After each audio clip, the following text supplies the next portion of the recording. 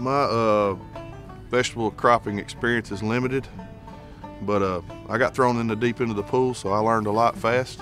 Uh, I learned that weed control in a vegetable scenario is ridiculously complicated. Uh, we don't have a lot of chemical tools. Uh, once that crops up and you've got food safety to worry about, it becomes basically hand weeding. Um, so we started out with cover crops in that situation. We just thought we need every advantage we can get to start.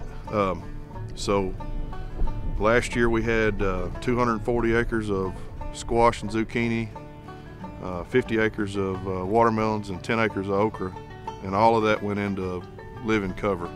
Uh, green when we planted, um, you know, and um, for the most part, we were pretty weed free. The watermelons got away from us late because they take so long to canopy. So we had to chop those. Um, but the squash, zucchini, okra, we were able to keep pretty clean with the covers and some residual herbicides, some directed applications, things like that. Uh, if I hadn't had those covers, I don't, we wouldn't have been able to manage the weeds.